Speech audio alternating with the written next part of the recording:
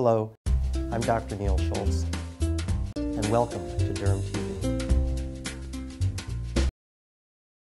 Today, I'd like to talk to you about Retin-A and tell you what it is, what it's used for, and what some of the issues or side effects are that some people experience when they use it. Retin-A is a brand name for a drug called tretinoin, and tretinoin is a derivative of vitamin A, and it's really the acid form of vitamin A. So another name for Retin-A is retinoic acid. It's a fairly versatile prescription medication which is used both to treat acne and to treat photoaging. Both of those treatments are based on Retin-A's ability to increase cell turnover, which is really what all exfoliants do.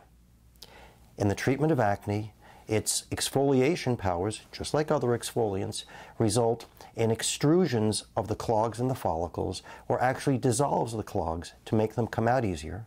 And also, they help to prevent more clogging of more follicles. When treating photoaging, it again works like other exfoliants. First, in helping to remove the dead cells from the surface of the epidermis, which makes the skin look brighter, more lustrous, and more even. Also helps to remove some of the dead cells that have extra browns in them, so it helps to correct brown pigmentation. And like most other exfoliants, it sends a message to the dermis, to fibroblasts, to wake up and make some more collagen. And when that happens, it helps to fill in fine lines and wrinkles. Some people who use Retin-A do experience some side effects, though, and the most common one is irritation or flaking, and that's because it's a fairly potent, strong medicine. To help reduce that irritation, it was reformulated into what's called Retin-A Micro. And in the micro form, it's encapsulated in these little spheres that are time release capsules. So it releases the active ingredient, which causes the potential irritation. It releases that ingredient more slowly and helps to avoid the irritation. Anybody who uses Retin-A can become more sensitive to the sun, which means you more easily get a sunburn, so of course you need to have strict sun protection with sunscreen. In addition, people who've used Retin-A for a prolonged period of time can increase the appearance of some small broken capillaries in their skin.